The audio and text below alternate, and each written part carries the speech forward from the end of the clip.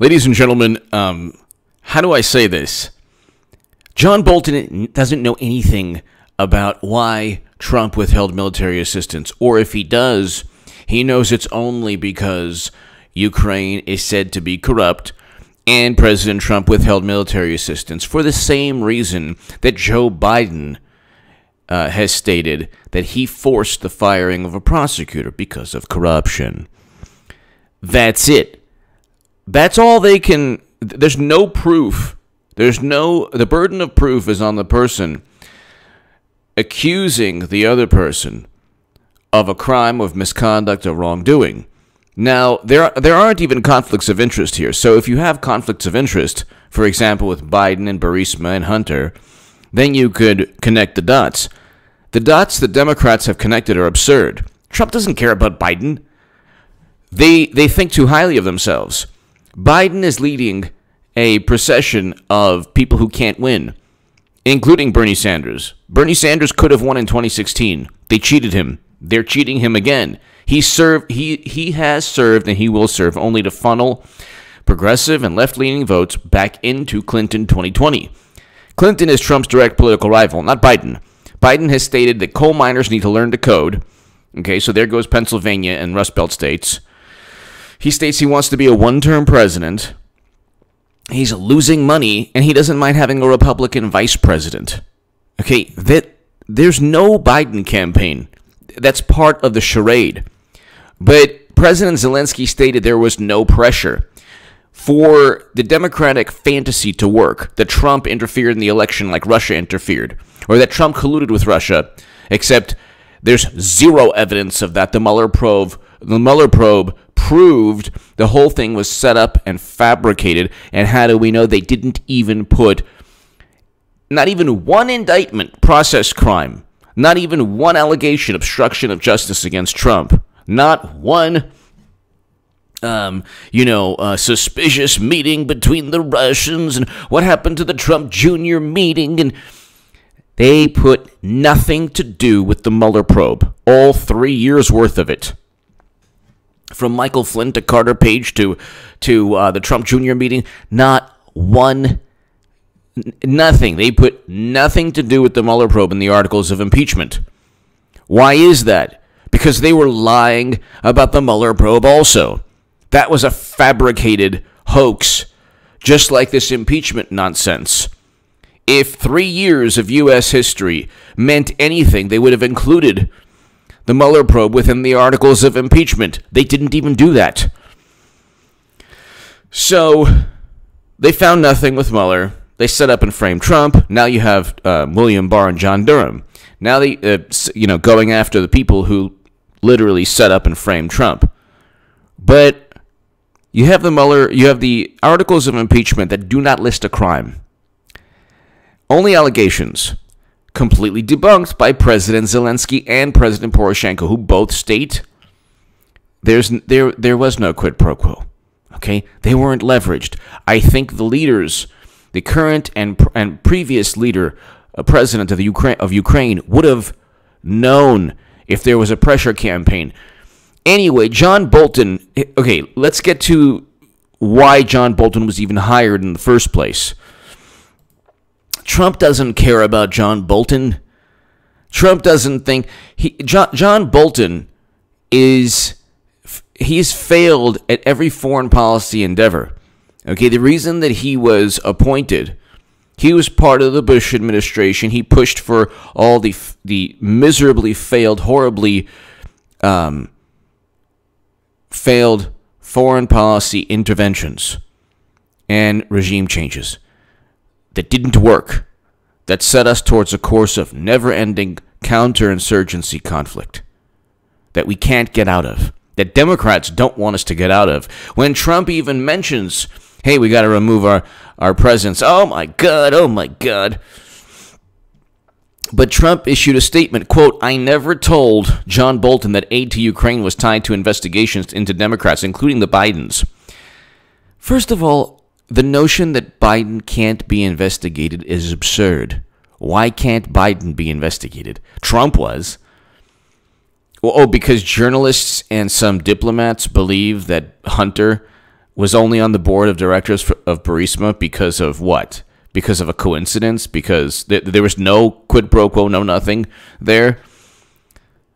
The the prosecutor that, that Biden forced out in an admission to the Council on Foreign Relations, where he says, "Oh yeah, I'm leaving in six hours. You're not going to get the loan guarantees, a billion dollars in loan guarantees, until you fire this person." That prosecutor Shokin, he he's already sworn in a sworn affidavit, eh, along with others, that Rudy Giuliani has in his possession that state that that um, that they've um, utilized that that Biden forced out Shokin, the prosecutor, because of a corrupt motive, because his his son was on the board of directors. Now, that's what he said in a sworn affidavit. Oh, you don't believe him? Oh, okay, but, people believe Bolton in a book that nobody's read yet.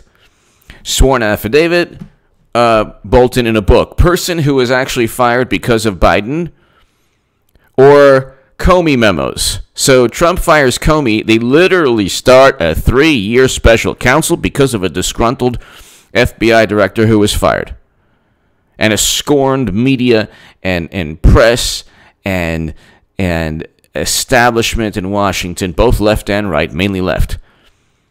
They started a three year Mueller probe because of Comey memos and a dossier that was purchased by Clinton. But, they, but you won't, you, they don't want to hear what Rudy Giuliani has found out. They would rather hear what Christopher Steele found out, which was complete nonsense. Rudy Giuliani is ready to actually try the case against Biden. He's already stated, he's like, yeah, I would totally, in a court of law, take him down. You can't use the, uh, the Steele dossier in a court of law. There is no Steele dossier in a court of law. The whole thing is nobody was ever indicted on the Steele dossier. For all those process crimes, what they did is they completely weaponized and politicized the FBI and the Justice Department, and it's still going on. And this is a this is an arm wrestling match between two factions of the United States government. That's all it is. And then when they when they investigate and begin investigations and uh, of Trump, and if, if it's the Southern District, oh no problem. But if it's Trump wanting to investigate why Biden was why Hunter was on the board of directors when his father was vice president in Ukraine as the point man for Ukrainian uh, uh, foreign policy towards Ukraine. Oh my God, you can't do that. But here, in fact, he never complained this at the time of his very public ter- termination. That's very true. If John Bolton said this, this, it was only to sell a book. With that being said, the transcript of my call with President Zelensky and all the proof that is needed, in addition to the fact that President Zelensky and Foreign Minister of Ukraine said there was no pressure and no problems. Additionally, I met with President Zelensky at the United Nations. Democrats said I never met and released the military aid to Ukraine without any condition or investigations, and far ahead of schedule. I also allowed Ukraine to purchase uh, Javelin anti tank missiles. My administration has done far more than the previous administration. Very true. Very true. Then you have one person. There's only one way to find out. He must testify under oath. Sorry, you only testify under oath when you lie about, uh, you know, oh, I, I never had relations. Oh, yes, I did. Oh, my goodness. I, you know what? President Trump gave Javelin anti tank missiles to Ukraine, and I gave my own version of the anti tank missile. I call it the Arkansas um, rocket. He lied about what actually took place. Okay, something took place in the Oval Office. Nothing took place in that transcript. Nothing took place according to President Zelensky. Nobody cares about Biden. It's all in the neuroses of Democrats, yes. If you take the corporate media the people, all the people who talk about corporate media, most of the people who talk about corporate media are corporate. they get twenty million dollars in, in in venture capital. But if you talk about like you know MSNBC, CNN, the New York Times, the Washington Post, if you were actually to flip the script and utilize their talking points in a manner like you wanted to, yeah, they, they think that Trump worked with Russia. Yeah, that's right to hack the DNC because the corruption in the DNC, knowing that is actually a Russian plot. Ooh, yeah. Oh, yeah, Trump. he he withheld military assistance a year and a half before the election because he's afraid of Biden, who promises to only be a one-term president.